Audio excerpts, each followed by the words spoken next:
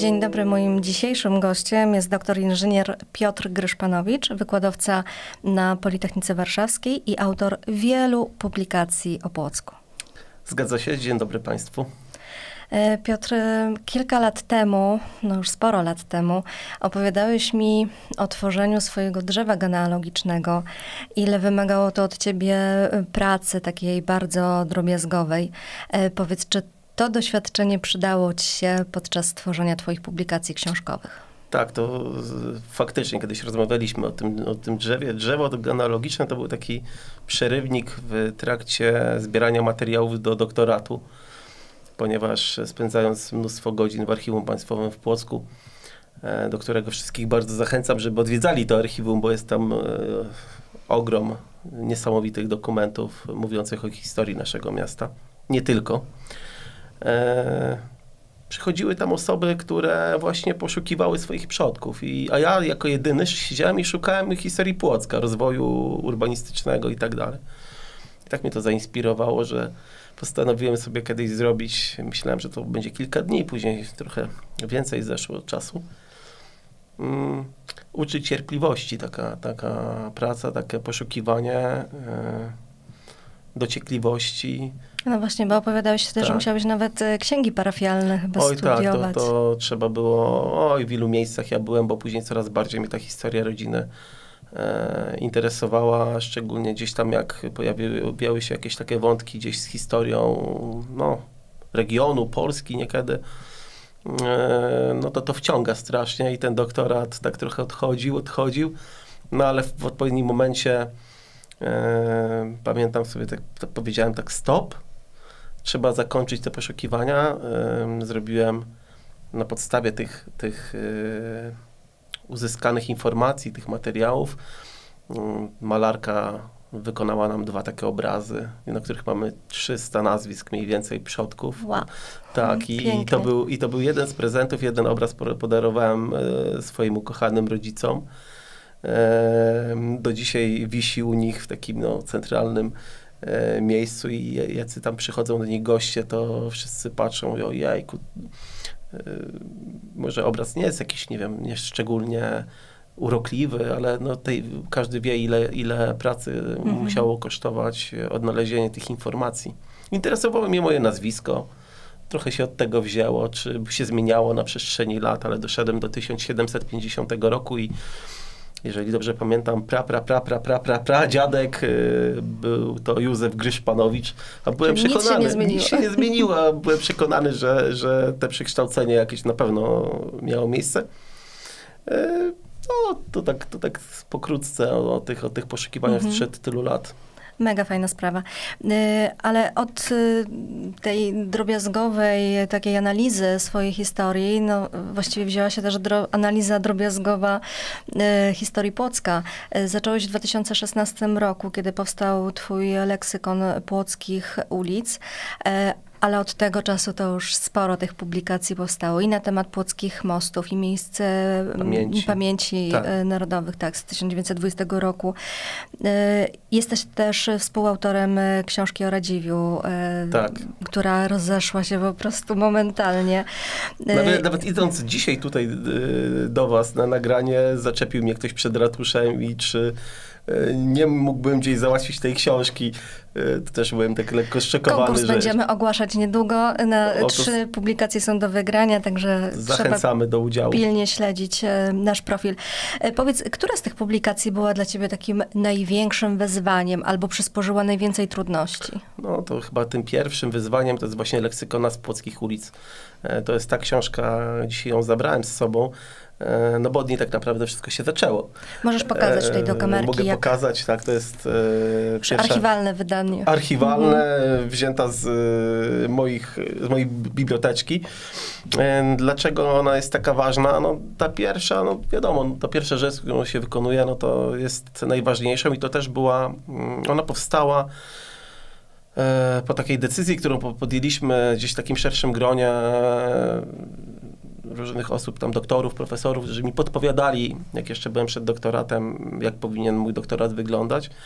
Tych materiałów miałem tak dużo, że początkowo te informacje miały być załącznikiem do doktoratu, ale ktoś mi powiedział, że nie, to chyba jest za dużo, że to warto by było wydać wcześniej, zresztą tam był nawet taki wymóg na uczelni, żeby coś wcześniej opublikować, żeby w ogóle mo można było przystąpić do obrony. I tak też się stało. E, myślałem, że mam już wszystko. Później się okazało, jak doszliśmy do tej mm, publikacji, tutaj wielka pomoc po stronie Towarzystwa Naukowego Płockiego, e, już e, nieżyjącego pana doktora Końskiego, który no, bardzo dużo mi pomógł i cierpliwie razem z panią doktor Konarską-Pabiniak mm, no, gdzieś tam sprawdzali młody człowiek, żółtodziób w tej, w, tej, w tej branży, nazwijmy to tak, no dużo musieli nade mną popracować i nad tym warsztatem, żeby go jakoś tam wypracować. E, ale to jest takie pierwsze dziecko ukochane i jakby teraz się w tym rok, ten rok jest dla mnie również ważny, bo dopina się taka pełna klamra. Mówi, mówi się tak potocznie, że co 7 lat człowiek się zmienia, czy potrafi się zmieniać. No to ta książka też już po tylu latach musiała ulec e, dezaktualizacji. Mm, e, ta książka, gdyby nie była Radziwia, książki o Radziwiu, to bym powiedział, że to był największy hit, bo ona, do, no wszyscy się jakby interesują mm. tą tematyką. Ona wiele osób ją kupowało na prezenty. Pamiętam, oj, to była historia. Mm, I e, te zmiany, które, do których doszło na przestrzeni ostatnich siedmiu lat, y, które mniej więcej zamykają się w ilości około ponad 50 zmian nazw, albo dochodziły nowe, albo się zmieniały, bo po drodze mieliśmy choćby dekomunizację. No tak, zmiany nazw płockich Tak, więc sporo. Y, było sporo. W międzyczasie przez te lata ja nie próżnowałem, poszukując materiałów do innych publikacji. Udawało mi się jeszcze coś odnaleźć czego nie odnalazłem 7 czy 8 lat temu. E, zbierałem, odkładałem sobie gdzieś ten na półkę i w którymś momencie mówię, to jest chyba dobry moment. E, jeżeli uda się zdobyć jakiś grant, bo dzisiaj jakby na tym się opieramy, e, to jest dla, dla, takich osób jak ja ogromne wsparcie, to postanowiłem, e, że to będzie dobry moment, żeby właśnie wydać e, drugie wydanie, uzupełnione, poprawione, gdyż gdzieś tam jeszcze e, doktor e, Grzegorz Gołębieski podpowiedział, że gdzieś tam jakiś chochlik się trafił również mi, tak jak wielu autorom, e, gdzieś tam przez pomyłkę coś się przesunie, coś się człowiek źle e, zapisze i należało też to poprawić. E, za te wszystkie życzliwe uwagi też choćby z tego miejsca chciałem podziękować wszystkim tym osobom, bo, bo po prostu tak należy. No i mam nadzieję, że te drugie wydanie będzie również takim cieszyło się zainteresowaniem. Niedługo promocja tej książki, mam nadzieję, że jeszcze dzisiaj coś na ten temat powiemy. I to jest taka odpowiedź moja, że ta pierwsza książka jest taka dla mnie najważniejsza, mimo że dużo fajnych pozycji powstawało w następnych latach.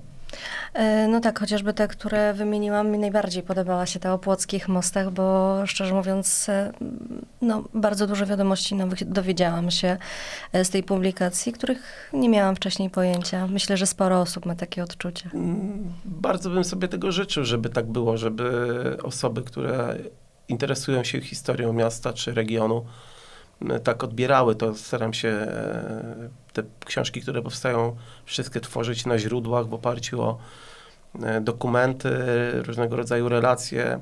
E, zawsze są opatrzone przypisami. No myślę, że to dla jakby, jeżeli ktoś chce coś tworzyć porządnego, tak musi być. Musimy mieć, podać, dać możliwość innym weryfikacji E, tych e, informacji zawieranych w swoich e, publikacjach. No, często tego nie ma w, różnych książkach. Nie, nie, nie zarzucam, ale też no korzystam. Też wspominałeś tak, że podczas tak. swojej pracy natrafiałeś na na przykład dwie różne nazwy, niezweryfikowane tak. zupełnie w różnych publikacjach podawane. Raz taka nazwa, raz tak, inna. Żaden więc... autor na pewno nie robi tego celowo, jestem przekonany na 100%. Bierze się to z różnych y, przyczyn. Y, gdzieś w jakiejś relacji, komuś się pomyliło rok, komu, ktoś pomylił y, jednak jakąś, nie wiem, w przypadku mostów, y, most z mostem. No, nasza głowa, nasz umysł jest jakoś ograniczony i ta pamięć gdzieś tam się zaciera mm. po latach. E, sam tego doświadczam, bo nieraz mam mnóstwo pytań, e, osoby dzwonią, piszą, e, wyobrażają sobie, że no tyle pan napisał, coś tam, to pan będzie od razu wszystko wiedział. Nie, ja też potrzebuję chwili, nieraz mówię, odezwę się w ciągu tygodnia, dwóch, no różnie to bywa w zależności, jak jestem bardzo zajęty. Nieraz proszę o kontakt za miesiąc e, i jeszcze to weryfikuję, bo odzywają się często osoby z całej Polski, nawet i z, poza granic i dopytują się, gdzieś tam się dowiedziały o czymś takim, poszukują tam jakieś informacje o nieruchomościach, o, o przodkach. E, teraz bardzo od kilku lat jestem nastawiony na, na to, żeby przywracać pamięć o osobach, które zasłużyły się dla miasta, a z różnych przyczyn świadomie lub mniej świadomie zostały wygumkowane no też koleje losu Polski były takie, a nie inne i on, one też jakby nie, nie pomagały. Ta publikacja o miejscach pamięci roku 1920, e, o tych wydarzeniach dla miasta bardzo ważnych, to myślę, że doktor Gołębieski napisał tyle i cały czas coś nowego i odkrywa i wchodzi w coraz to większe szczegóły, a mm, gdy ja skupiłem się na miejscach upamiętniających te wydarzenia, i poprosiłem właśnie Grzegorza, żeby e, no, zechciał zerknąć swoim okiem i napisać recenzję, podpowiedzieć, bo zawsze warto skonsultować. No to mówi, że jest pod wrażeniem, bo wielu rzeczy nie wiedział. Ja po prostu robiłem to pod innym kątem, więc możemy się fajnie na różnych poziomach uzupełniać, uzupełniać. i no, na tym to mhm. polega. E, no tak, ale wydane publikacje to nie wszystko. Mm, oprócz e, tej nowego wydania leksykonu wiem, że tworzysz też inne rzeczy. Powiedz jakie. Oj tak, e, jest troszeczkę pomysłów. Udało się mi, moim kolegom z różnych stowarzyszeń uzyskać kilka grantów. One zawsze będą niewystarczające, chciałoby się dostać więcej pieniążków, wiadoma sprawa, bo wszystko, wszystko jest chciałoby się więcej wydać, te ceny troszeczkę nam podskoczyły. Koszty wydruku poszły tak, w górę, co potwierdzamy jako wiadomo, no wydawcy no gazet. Nie będziemy to jakby zakłamywać rzeczywistości. Natomiast yy, mnie pasjonuje obracanie się wokół jakichś rocznic, yy, żeby te wydarzenia były z czymś, jakby te publikacje związane. związane mhm. tak? I dlatego niedawno E, ukazała się publikacja o Ochotniczej Straży Pożarnej w Płocku, która w tym roku, gdyby istniała, bo ona została rozwiązana w 1960 roku, ale gdyby istniała, e, obchodziłaby swoje 150-lecie. E, no była takim prekursorem dla wszystkich strażaków tutaj z Płocka, e, z ale nawet z regionu, więc e, była to ważna, ważna instytucja, ważna, ważne no, straż po prostu. E, więc mimo, że ta, tej straży dotykałem gdzieś tam tak leciutko, muskałem ją w innych publikacjach ze względu na to, że tam się gdzieś się coś buduje, to się też może coś zacząć palić. No to mhm. i, czy nie wiem, pisałem e, publikację o wodociągach, no to nie ma żadnego strażak nic nie zrobi, jak nie będzie miał dos dostępu do wody, jak ważne było rozmieszczenie w Płocku hydrantów to wszystko się przenika strasznie z sobą, więc yy, jeżeli człowiek już wie, gdzie szukać, jest to łatwiejsze. Ale powracając do pytania, mm, co przed nami, no, yy, interesuje mnie yy, historia Płocka zaraz po wojnie i y, myślę, że jeszcze w tym roku uda nam się pokazać y, Płock y, lat 45-50. Mm, nie z takiej perspektywy która była ukazana wówczas w... Są takie książeczki nieduże, znamy je na pewno e, wszyscy. Płock tam w dziesięcioleciu PRL-u, tam 20 i tak dalej, gdzieś tam się chwalono różnymi rzeczami. Ja to trochę pokazuję z innej perspektywy. E, pokazuję, jak budowali swoje domy odbudowywali po wojnie zwykli mieszkańcy, ale również jak powstawały jakieś zakłady pracy, udało mi się dotrzeć do wielu projektów technicznych, do różnych zdjęć, y, ale no przede wszystkim chodzi mi o przekaz taki, no żeby można poczytać, tak, żeby było wiadomo, jak ten Płock się e, rozwijał, myślę, że nie wiem, czy jako pierwszy, ale, ale y, nie przypominam sobie, żeby ktoś tak szczegółowo opisał dokładnie zniszczenia po II wojnie światowej. Mhm. W różnych publikacjach ukazują się e, takie no, liczby tylko ogólnie tyle i tyle domów zniszczonych, taka i taka e, posiadłość, a ja udało mi się w Warszawie, w Archiwum Państwowym w Warszawie odnaleźć spisy dokładne. E, bardzo dokładne. Jeździłem do Warszawy kilkukrotnie. E, nie wiem, czy można to uznać za jakiś sukces, no bo mówimy jednak o zniszczeniach.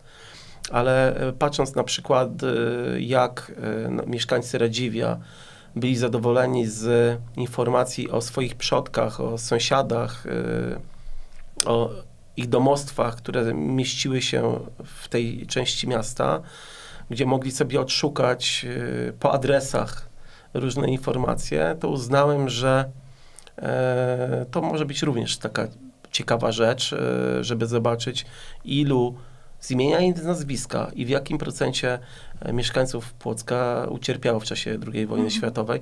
No i właśnie niestety, czy stety, raczej niestety, przoduje tutaj właśnie Radziwie, y, bardzo zniszczone, bo ten wykaz mieszkańców z ich stratami, w większości stuprocentowymi, no jest przerażający, więc ym, taka publikacja.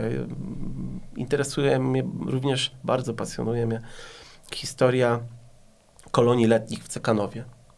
E, to, są, to były kolonie letnie, baraki, których pomysłodawcą był, był pan Leon Dorobek w Cekanowie miało coś powstać na mm, coś w stylu sanatorium e, do walki z gruźlicą. I wówczas Cekanowo mieściło się od Płocka, było w odległości około 10 kilometrów, nie tak jak dzisiaj za Miedzo. Tak. Mm, I uważano te tereny za e, takie szczególnie dobre, lecznicze, że tam dzieci będą odzyskiwały w lasach e, no, energię i tak dalej. I tam e, od roku 1926 e, do mm, rozpoczęcia II wojny światowej rok rocznie te kolonie były organizowane. Na początku gdzieś tam w jakichś szałasach, później wybudowano e, jakieś drewniane, no nie chcę tego domkami nazwać, no takie stodoły bardziej, aż doszło do wybudowania takiego fajnego obiektu E, w części murowanego, nazwanego cekanówką, mm, w której pan Dorobek no, mógł e, uczyć e, te dzieciaki, które przyjeżdżały niezależnie od ich pochodzenia, niezależnie od wyznania. Zachowały się spisy, zachowały się informacje, co jadły, co robiły. Niesamowita historia. Ale to miejsce jeszcze jest? Można to miejsce zobaczyć? jest dzisiaj, można powiedzieć, lasem to miejsce, po tym miejscu zostały fundamenty. Mhm. Więc namierzyć je nie ma problemu. Ale co najciekawsze, jednym z budowniczych mm, tej cekanówki był mi bardzo bliski pan Tadeusz Borkowski, którego bardziej znamy jako założyciela Polskiego Zoo, ale przede wszystkim dla mnie to jest drogowiec, którego, o którym opisywałem w jednej e, historii w jednej z książek o drogownictwie. E, niesamowita postać, dotarłem do rodziny z wnuczkami, jestem jego w kontakcie. One również poszły, w, przynajmniej jedna, e, poszły w mm, tym, tym, tym śladem swojego dziadka. Jedna, jedna z wnuczek jest architektem. No, bardzo się interesują tą, tą historią. Byliśmy w kontakcie, gdy występowałem o nadanie nazwy dla ronda przy, mhm. przy zoo i zachował się piękny album, e, który otrzymał e, pan Tadeusz Borkowski od e, prezydenta Wernika, e, w którym widzimy po prostu i takie życie na co dzień, i budowę, e, no coś niesamowitego i, i chciałbym bardzo, żeby się ukazało to również drukiem. Jesteśmy w kontakcie z gminą Słupno, która jest bardzo zainteresowana, za co tutaj dziękuję z tego miejsca wójtowi, e, no, że zależy im również na przywracaniu pamięci. I dlaczego to miejsce jest również ważne dla Płotczan? Oprócz tego, że Płotczanie tam się leczyli, jeździli, było to wybudowane za e, pieniążki z miasta, z budżetu miasta. No, znamy wszyscy historię i to, co się zadziało z arcybiskupem nowowiejskim e, i że on był w którymś tam momencie, już nie mamy czasu, nie będę tutaj całej tej historii opowiadał, ale wywieziony do Słupna, przetrzymywany w szkole, że tam szkoła nawet ma, jest imienia, e, z tego co pamiętam, arcybiskupa nowowiejskiego, ale mało kto wie, że przez jakiś czas był właśnie przetrzymywany w tych w tej cekanówce, w tych barakach. I chcielibyśmy tą pamięć również o tym wydarzeniu przywrócić dla, dla tego miejsca. E, no, są to piękne tereny, można tam się wybrać na spacer. E, e być może powstanie jakaś tablica informacyjna, oprócz tej, tej, tej książeczki na ten temat. No, o to w tym wszystkim moim zdaniem chodzi. Nie chciałbym może też już mówić dokładnie o wszystkich pomysłach, bo jeszcze jeden pomysł y, rodzi się, ale jest y, bardzo mm, zaawansowany i on troszeczkę jest takim dzieckiem tej książki o OSP Płock, mhm. Mm, ponieważ mnóstwo z nas, większość, myli, nie znając historii, E, właśnie historię straży dzisiejszej, państwowej, tej zawodowej, z tą, z tą historią właśnie ochotniczej Ochotnicze. straży w mhm. Płocku, tak.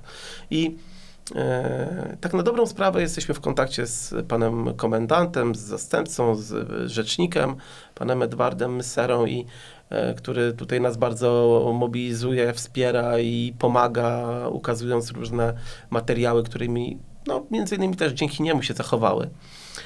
I mam nadzieję, że w najbliższej, niedalekiej przyszłości uda się pokazać historię, ale tym razem właśnie tej Straży Pożarnej Państwowej.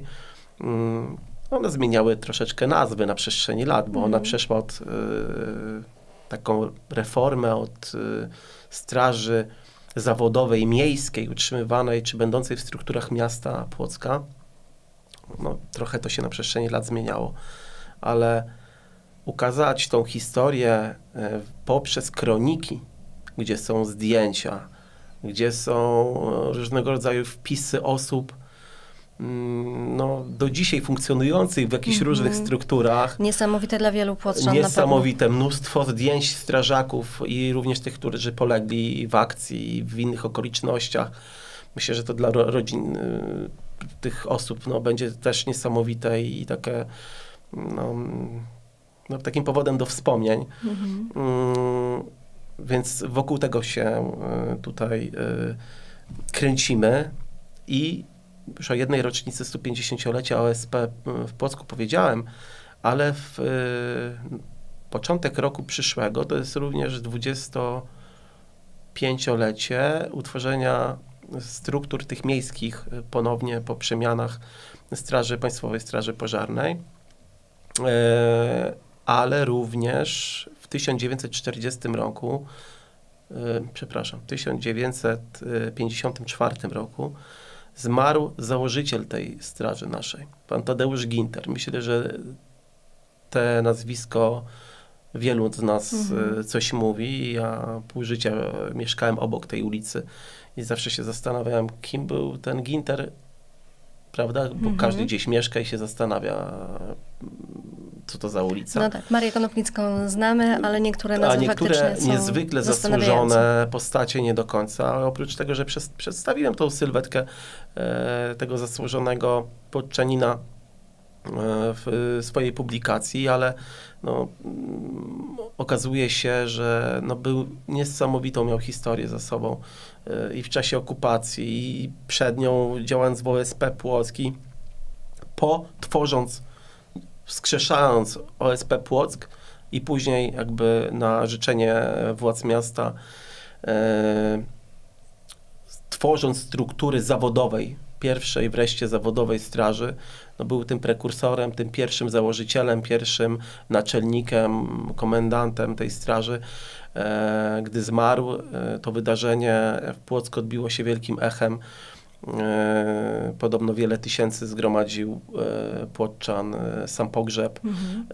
Jestem w kontakcie z wnukiem, który odwiedził nas na promocji mm, tej książki OSP. No i wówczas to zadałem pytanie, czemu w tak słabym stanie jest. Nie wiedziałem troszkę, jak zadać to pytanie, bo to jest trochę tak no ale postanowiłem coś z tym zrobić i dlaczego ten stan tego grobu, tego pomnika jest na starym cmentarzu przy, w Alei Kobylińskiego. Mm. No, wnuk mówi, że no, różne się złożyły okoliczności, o których ja tutaj w ogóle nie zamierzam nawet mówić, ale wiadomo, no, koleje losu rodzin są różne. E, ale bardzo by jemu zależało, żeby coś zadziałać i już nawiązałem kontakt z tutaj panem Jerzym Skarżyńskim. Mhm. Przy akcji Płockie Powązkie Oj, może tak, będzie odnowiony. Pan, pan, pan Jerzy y, jest też niesamowitą postacią.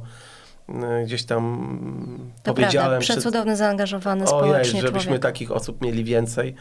E, I mówi, ja nie powiedziałem, nie śmiałem powiedzieć, że zróbcie to, nie? Ta, Mhm. taka nie wyszedłem z taką propozycją, tylko bardziej chodziło mi o pomoc. Nigdy nie robiłem żadnej zbiórki i wiem, że to nie jest wcale takie proste. I Mhm. bardziej mi chodziło o to, że żeby przy okazji ukazania tej publikacji o straży, żeby może jakieś cegiełki można było coś, y, jakoś, żebyśmy może tutaj a pan Jerzy, trochę mówię to tak przed nim, wolałbym, żeby on to pierwszy powiedział, ale no, e, jakby obiecał, że co będzie mógł, to pomoże i że rzeczywiście to są takie rocznice i taka postać. Strażacy w ogóle w podziękowaniu z szacunku za działalność pana Tadeusza Gintera wybudowali ten, ten pomnik. Mhm. Co jeszcze jest ciekawszego, y, może nie ciekawszego, ale równie ciekawego, y, jest on pochowany tam z synem, który no, zmarł dosyć młodo, a też był pracownikiem Urzędu Miasta, też był odpowiedzialny, chyba nawet szefem mm, Komisji Gospodarki Komunalnej, jakby poszedł troszeczkę w mm, ślady swojego taty. No, myślę, że takie postacie trzeba. No, trzeba o nich pamiętać, nie tylko nadając nazwę. No bo to jest najprostsze tak na dobrą Oczywiście, sprawę. że tak. Pamięć o naszej historii trzeba utrwalać. Tak, więc ja bym tutaj mógł, e, nie chciałbym też No właśnie zanudzić. chciałam powiedzieć, że cudownie się ciebie słucha. Tak. E, Naprawdę mam nadzieję, że mm, uda mi się ciebie namówić do, do takich spotkań historycznych e, częstszych. Powiedz jeszcze o tej promocji. Mieliśmy do niej wrócić. Kiedy się odbędzie? Tak, bardzo, bardzo bym chciał Państwa serdecznie zaprosić na promocję drugiego wydania Leksykonu Nazw Płockich Ulic e, już 22 czerwca o godzinie 17 do e, Płockiej Mediateki przy ulicy Kościuszki. E, Mam nadzieję, że Państwo licznie zbierzecie się na tej promocji. Dla autora to jest zawsze wielkie święto. Widząc się z Państwem, mogąc podyskutować, e, chwilę porozmawiać, e, odpowiedzieć na pytania, no to jest coś, na co każdy autor e, czeka. E, Z tego miejsca chciałbym również po- podziękować, bo już powiedziałem, że dostaliśmy grant. e, Bez grantów dzisiaj e, ciężko by cokolwiek było zrobić. Książka w dosyć sporej e, liczbie ukaże się i będzie można ją otrzymać dzięki e, środkom z budżetu województwa, samorządu województwa mazowieckiego, za co serdecznie dziękuję. Zapraszam wszystkich, mam, nadzie- mam nadzieję, że dla wszystkich osób, które przyjdą, tych książek wystarczy. E, No i że przyjmiecie ją równie Życzliwie jak życzliwie pozostałe. jak wszystkie poprzednie. Tak, bardzo Mhm. dziękuję i serdecznie zapraszam. Również e, przyłączam się oczywiście do tego zaproszenia. Zachęcamy e, do odwiedzenia mediateki i nabycia tej wyjątkowej publikacji. Bardzo dziękuję za rozmowę. Mm, Mam nadzieję na częstsze nasze spotkania tutaj w studiu. Moim gościem był Piotr Gryszpanowicz. Bardzo dziękuję i rzeczywiście mam nadzieję, że do kolejnych naszych spotkań z historią w tle będzie dochodziło nadal. Na Dziękuję pewno. bardzo.